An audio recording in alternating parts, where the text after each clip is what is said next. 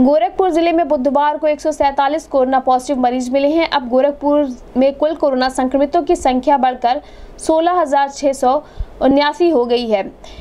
तक 270 कोरोना संक्रमित मरीज़ अपनी जान गंवा चुके हैं। चौदह लोगों की रिपोर्ट निगेटिव आ चुकी है। वही ज़िले में अभी भी 1923 कोरोना संक्रमित मरीज़ एक्टिव हैं। इसकी पुष्टि सीएमओ डॉक्टर श्रीकांत तिवारी ने की है। उन्होंने बताया कि संक्रमितों के परिजनों की जाँच कराई जाएगी, साथ ही उनके संपर्क में आने वाले लोगों की तलाश शुरू कर दी गई है। आपको बताते चले की अगर शहर की बात करें तो बयासी नए मरीज़ मिले हैं। इनमें कैंट थाना क्षेत्र में बुधवार को सबसे अधिक पच्चीस मरीज़ शामिल है।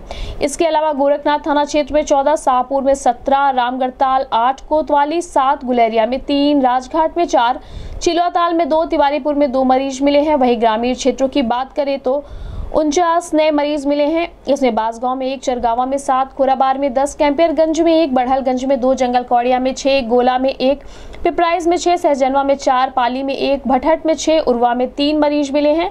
इसके अलावा अलग अलग थाना क्षेत्रों के सोलह मरीज़ और शामिल हैं।